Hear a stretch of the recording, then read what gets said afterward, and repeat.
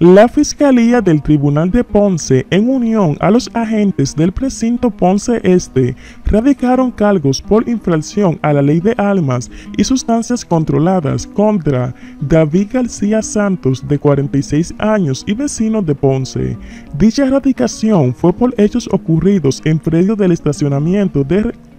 Dicha erradicación fue por hechos ocurridos en predios del estacionamiento de un restaurante de comida rápida Burger King, donde agentes adscritos al precinto Ponce Este se personaron al lugar, esto luego de haber recibido una llamada al precinto.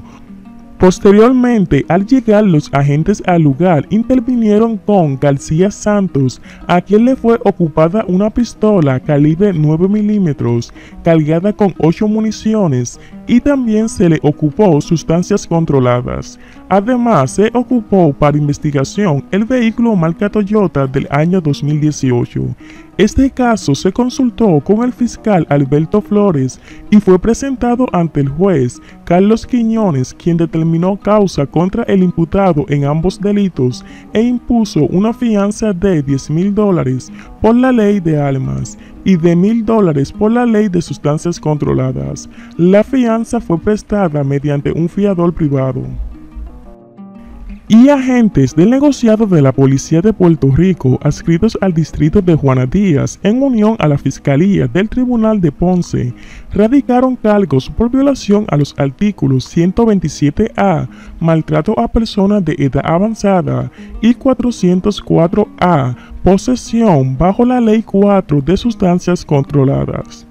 Esto contra Ángel Luis Meletiche Rivera de 29 años.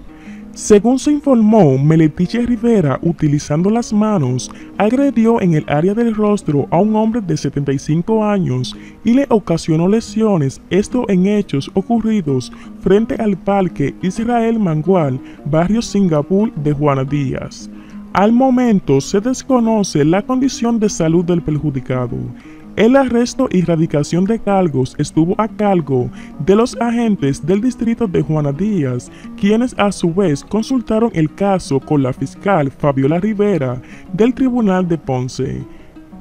y el caso fue presentado ante la juez Carla Rodríguez Heredia, quien luego de evaluar las pruebas presentadas determinó causa por los dos cargos e impuso una fianza de 10 mil dólares, la cual el acusado no pudo prestar, siendo ingresado en el complejo correccional Sargento Pedro Rodríguez en Ponce.